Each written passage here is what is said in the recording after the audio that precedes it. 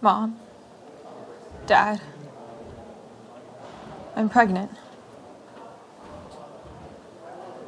You think she said it like that? Almost like, here it is, deal with it.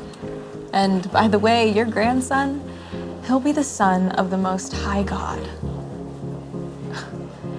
yeah, how, how do you even say that? The angel told her not to be afraid. And Mary, well, we know she was faithful. So maybe, maybe she just decided to believe him. That whatever was about to happen, she was gonna be okay.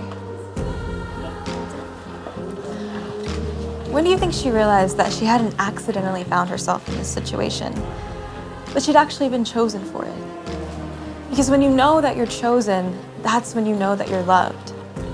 And when you're loved, well, that gives you the kind of confidence you need to walk through doors everyone else wouldn't dare go through. But Mary dared.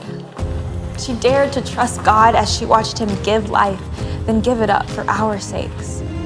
And it all, in the unforgettable miracles and the very scary moments, she trusted his will rather than demanded answers, walked forward instead of turned back, stepped out instead of hid.